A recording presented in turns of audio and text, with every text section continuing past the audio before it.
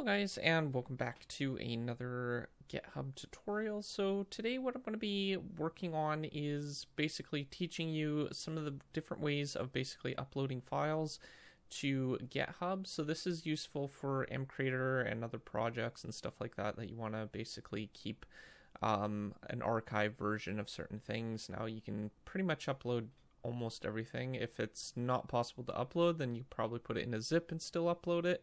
So like, um, there's a few different ways that you can actually go about doing that. Uh, one is you can just click on releases. You know, if you don't have releases set up, you can enable a releases on the side here, and it'll basically give you the release thing. Um, yeah, so when you're in releases, there's tags and then there's releases. So there's uh, those things are a little bit uh, different. You need tags in order to create releases. So if we create a release, and then it will give us some basic options on basically how to add things uh, like a release. So uh, you can preview it, nothing to basically preview, and uh, there's a few different things that you can do down here. You can uh, attach binaries, which will allow you to upload files. So if you wanted to upload a file, you could do that. You could basically just upload a zip, and it will basically add it to the um, the file. You could add a description of what the file is about, and you will need to give it a release title. So this is basically the display name for the title, and you're going to need to choose a tag. So if you don't have a tag, um, it needs to be a specific type of tag, so you'll probably have to create a new one. And you need to give it a name. So I'm just going to call it 1.0.0 and then create that, and then it's under that particular one. Uh, another thing that you can do is drag and drop uh, files directly into here. Now that is actually really handy if you want to, um, per se, get the URL link. So I'm just going to drag and drop that same file in here and it will generate the uh, URL automatically for the uh, thing. So if you want to use it in a wiki page or directly download uh, that particular file, you can actually copy this entire thing right here. Now you can change the text uh, for the link right here, which is the .zip and everything down here. So what you could do is you could just tidy this up, get rid of the underscores and stuff like that for the namespace and the .zip, and what you can do is basically when it's previewed, it will basically look like uh, Nodes Plus 1.0.14 and then that. Now this is great, but not many people actually see this uh, when they're viewing it. So you might want to add a downloads thing to the main page. So we're going to just publish this release. And there it is. That's our link that we basically click on, and it will prompt us to download it. Um, the other thing is we can do it through discussions as well. So if we were to go into um, our settings, and there is a tab down here called discussions, you can enable that. And up here, you'll see discussions be added. Um, we'll cover issues in another video, but uh, discussions basically allow you to have uh, an easy way for ideas for people to submit feature requests, um, general discussions. You can post announcements here. This is a really handy channel for basically adding files as well. So, and then there's uh, show and tell and stuff like that as well. So, if we create a new discussion and then we can give this a name, so we're just going to call it um, nodes plus, and then we'll go 1.0.0. And same idea, uh, you just basically drag and drop the file into the um, actual text box here. You can give it a title, uh, any information about it. You can add release notes and stuff like that for the download. Um, I'm not sure if it does jars per, per se, but you can put a jar in a zip file, so that will work still and uh, it gives you some help stuff and things here. You can actually add it to labels as well if you wanted to, if you wanted to tidy up things. Again, I won't cover that in this particular video because it's more focusing on downloads, but uh, once you got that, you can just basically start discussion. You're going to need to select a category, make sure it's under announcements. And there you go. You got your first post here. People can comment on it if they want to. And if you go to discussions, it will show up in the uh, discussions part. So if we go and click on announcements, you can see it shows up here. It won't show up under the other channels though. Uh, to create new channels, uh, you can actually go and I believe it's I think you can edit it like by clicking on the little icon right here. It's a little pencil icon. You can click on that. You can go new category and then you can select what kind of category you want. You can go announcement, um, questions and answers, or open discussion. You want to give it a category name. So you could go feature requests if you really wanted to. You can also give it a, um, a built in icon um, for the actual channel icon as well. So if we wanted to do something like a yellow heart, we could do that. And then the description. So um, we can just say something like um, feature requests can be posted here. And then we can basically create it.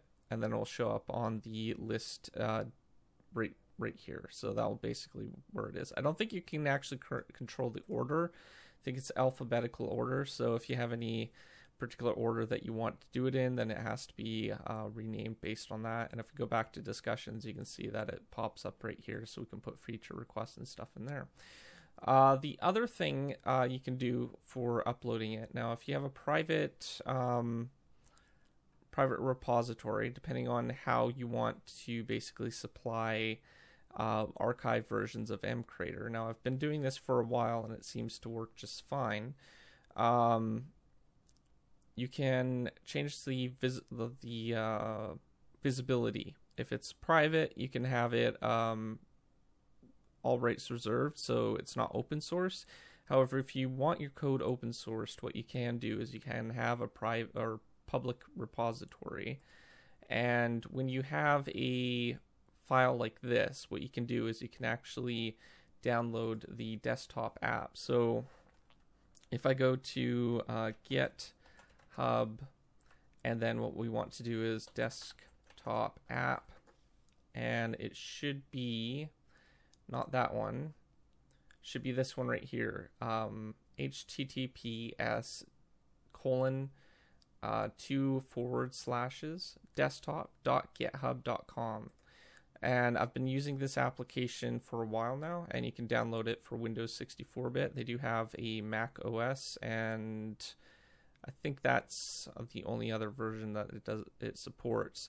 But um, what you can do is it has a desktop thing that you can run, and it looks something like this. And basically, it's really simple to set up. If we want to set up a repository for that particular thing, all we need to do is go here. And then what we need to do is go basically code. And then we open up with GitHub Desktop. So what this will do is it'll prompt a window open here. Then we can click on that. And then you can basically set up the URL for the repository. By default, it will be auto-filled. And then this is the path that you want to basically set it up. So I have all my repositories under a uh, GitHub folder under a custom drive that I'm working on. So if I wanted to set this up, what I could do is I could actually change this to something where I store my mcreator saves. And uh, that's under programs and then workspaces. And then I have one called mods, example, and building. So I could set one up for the examples and I'll just go tutorial 22 and then we should probably make a folder first for that.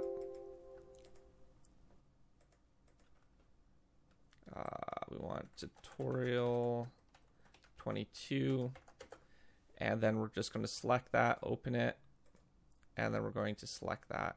So, um, okay, you don't necessarily need the extra part for the thing. We just need to go tutorial 22 and then we're going to click clone. Now you need to actually set up your workspace um, before you bring into your bring in your M creator. Uh, the reason for this is it's a little bit wonky if you don't do that. Now we should have a workspace that we can actually drag a pre-existing workspace that I have in. So if I were to go to my folder again, Minecraft workspaces, and then we'll just go into example, and then what we can do is we can go and use the custom crops one. We're just going to drag all the folders from here to here, copy it, because you don't want to bring in, um, just in case something does backfire, then you want to make sure you still have your workspace. Just go into here, leave these two files here. Now, if there's any extra files that are listed in here, leave them, just paste the files in. Uh, this is the README file for the GitHub for our project homepage, and the get.get is where all the GitHub stuff is located. Now we should be able to go into our desktop app and uh, you can see that all these green plus icons means things have been added. Um, if we change something, then it'll turn yellow, and if it is removed, then it'll turn red. Now we have a lot of changes in this uh, particular custom crops thing. So you want to give it a summary, and I usually just type changes, nothing really too important, and then you want to go commit to mass to main. And then this will take a couple seconds to do but once you have that all you need to do is push to origin. Now what this will do is if we go back to now this will take a couple minutes to do depending on the size of the workspace and how many files are changed. Uh, there is no particular limit on how much you can upload far as I know. Um, with a desktop app it actually just takes a couple moments so fetching basically means you can pull from GitHub into that particular folder. Now, when you're doing that, make sure you're out of mcreator and it's not running. Uh, neither is the workspace, and you can basically pull it back into your folder where you have all your files. And what this will do is it'll allow you to roll back uh, any changes that have messed up or anything like that, and you can basically start from that point on. Uh, there's also other features that I'll cover in another video because this thing could actually use its own tutorial. But that's basically the system for pushing and saving files to there. Uh, now, if we go back to our workspace and refresh the repository, you can see that all our files for the uh, repository for um, our mcreator project are now listed in this uh, code tab right here. So again, if we wanted to call the files. So say we change something, we can go fetch, and what this will do is we'll roll it back to what is on our GitHub. Now, there is another thing called uh, branches. Now, this is where things get a little more technical, but um, I'll cover that in another video because it could actually use its own thing but uh, they're really handy when you want to keep specific builds for certain versions of Minecraft and stuff like that. But again, I'll cover that in another video. Um, outside of that, that's pretty much all I need to cover for today. Uh, there's a few different ways you can upload files and stuff like that.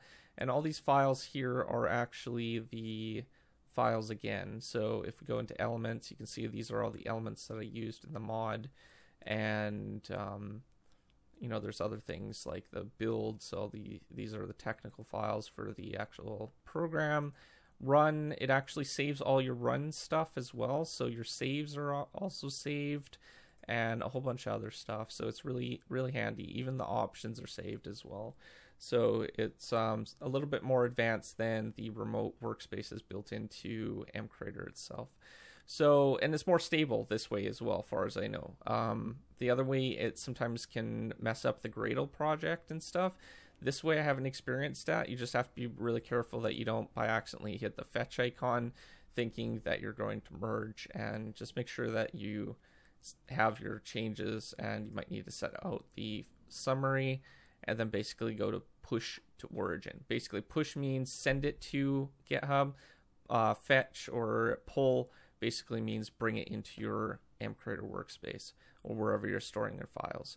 But uh, yeah, outside that, that's all the time that I have for today. If you're new to my channel, don't forget to subscribe, comment down below, rate the video, and I will see you guys next time. Thanks for watching. Peace out.